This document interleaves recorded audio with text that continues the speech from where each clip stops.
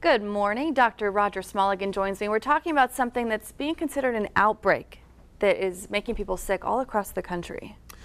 Right. It's something, the first case of this was reported in late June. It's called cyclospora.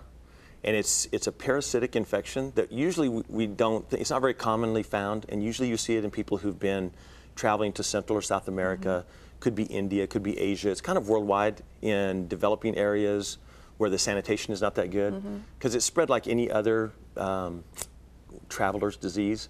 And the symptoms will be like other similar traveler's diseases, like um, where you get some abdominal pain, maybe some fever, some anorexia, um, some fatigue, mm. and diarrhea is often a component.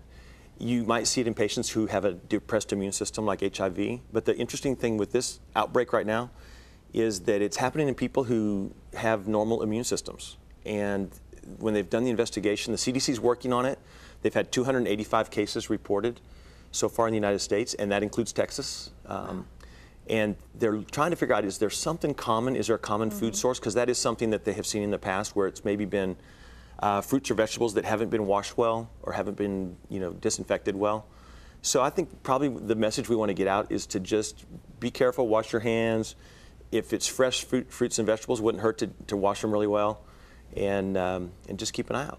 And if you do notice these symptoms, maybe contact your area's health department? That would be good. Yeah, it's a reportable disease, and we want to know about it at the health department. It's called cyclospora, uh, or, uh, and it's treatable, though, with a simple antibiotic that's pretty inexpensive. And what's interesting is you had said that they put out this kind of a warning out in June, and it hasn't been that long, and already over 200 cases have been reported. Right. So who knows how many are going to yeah. turn up in the United States, yeah. All right. Wash your hands. Okay. Right. Thank you, Dr. Right. Smalligan. Right. Thank you.